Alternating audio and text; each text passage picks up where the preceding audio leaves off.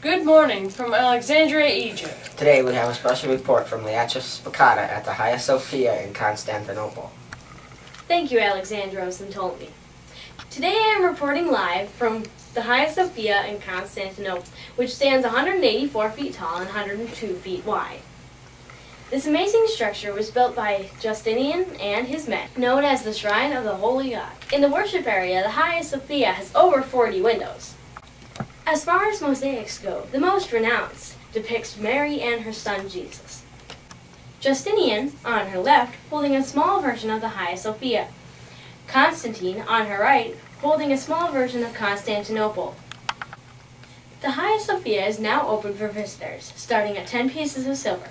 Children 12 and under are free. Join us at 10 for full coverage of the Siege of Rome, live from Italy. Jack Link's Beef Jerky presents Messin' with Sasquatch. Ho!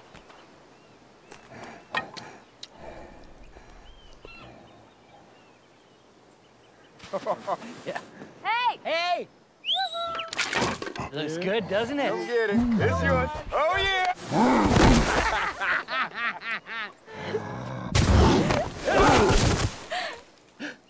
Jack Link's Jerky. Feed your wild side.